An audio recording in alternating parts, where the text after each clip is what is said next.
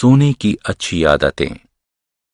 जिस प्रकार व्यायाम चुस्त रहने के लिए आवश्यक है, ठीक उसी प्रकार रात को अच्छे प्रकार से सोना भी अत्यंत ज़रूरी है। सोना हमारे मन और शरीर को आराम देता है तथा हमें तरोताजा बनाता है। उठकर तरोताजा रहने के लिए आठ घंटे की अच्छी नींद अवश्य लें।